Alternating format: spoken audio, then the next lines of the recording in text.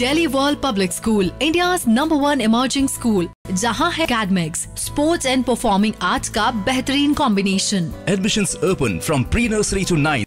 Corona की वजह से बंद हुई हवाई सेवा 25 मई सोमवार से फिर शुरू हो जाएगी। किशनगढ़ आने वाली दिल्ली हैदराबाद और अहमदाबाद फ़्लाइट का शेड्यूल भी जारी कर दिया गया है। और इसी के साथ अब यात्रियों ने फ़्लाइट के लिए ऑनलाइन बुकिंग शुरू कर दी है। जानकारी के अनुसार एयरपोर्ट पर दिल्ली, हैदराबाद और अहमदाबाद फ़्लाइट शुरू हो जाएगी। हैदराबाद फ़्लाइट सुबह आठ बजकर पचास मिनट पर किशनगढ़ एयरपोर्ट पर आएगी और साढ़े नौ बजे वापस हैदराबाद के लिए उड़ान भरेगी।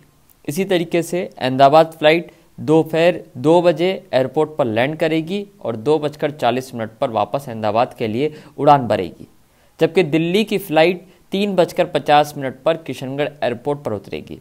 और शाम चार बजकर पंद्रह मिनट पर वापस उड़ान भरेगी। इस दौरान यात्रियों से लेकर एयरपोर्ट स्टाफ तक को सोशल डिस्टेंसिंग और सैनिटाइजेशन का पूरा ध्यान रखना होगा। फ़िलहाल एयरपोर्ट में भी सभी विभागों को सैनिटाइज किया जा रहा है। वहीं दूसरी ओर कोविड 19 के संक्रमण को रोकने के लिए जहाँ एयरपोर्ट अथॉरिटी द्वारा एयरपोर्ट पर सोशल डिस्टेंसिंग मेंटेन करने के लिए बड़े बदलाव किए गए वहीं एयरलाइंस भी चाक चौबंद है। एयरक्राफ्ट में पायलट और एयर होस्टेस अब पीपी किट में नज़र आएँगे। एयर होस्टेस के लिए पीपी किट गाउन जैसा होगा। पायलट और एयर होस्टेस के अलावा फ़्लाइट में सभी क्रू मेंबर्स भी पीपी किट में नज़र आ सकते हैं। हर आने जाने वाले विमानों को एयरलाइंस द्वारा सैनिटाइज किया जाएगा। इसके साथ ही यात्रियों को सावधानी बरतने के लिए भी कहा जा रहा है।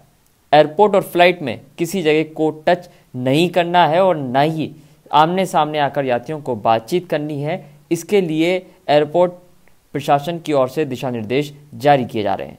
साथ ही यात्रियों को अब खास तौर पर यह ध्यान रखना होगा कि उन्हें एयरक्राफ्ट में जो सीट बुक है, उसके अलावा किसी भी दूसरी सीट को या जगह को टच नहीं करना है।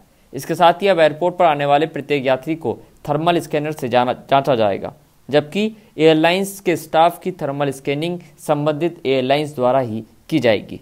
एयरपोर्ट पर यदि कोई यात्री थर्मल स्कैनिंग में सस्पेक्टेड आता है तो आगे की जाँच मेडिकल टीम द्वारा की जाएगी और यात्री को क्वारंटाइन करने की सुविधा प्रशासन द्वारा की गई है।